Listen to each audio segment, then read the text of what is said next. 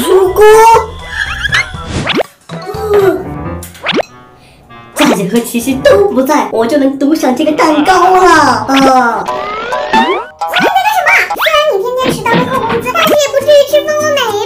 你在干什么，这可是蜂窝煤蛋糕，贵着呢。我才不信呢，你肯定又想你瞧好了，它是由黑米加白糖纯手工制成的蜂窝煤蛋糕。我舀一勺尝尝它的味道，这里面呢都是软软糯糯的黑米哦。真的有那么好吃吗？因为里面都是黑米和糯米挤压成型的，没有多少缝隙，所以它吃起来上特别饱满的发糕，甜味刚刚好。嗯，你要不要来尝一块呀？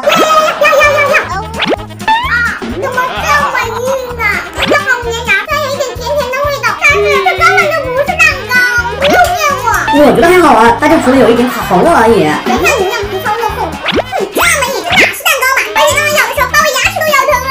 我好像忘了，这个蛋糕需要加热十五分钟的，我这个已经加热了，你的还没有，所以你的这个才会像真的煤球一样硬。哈哈。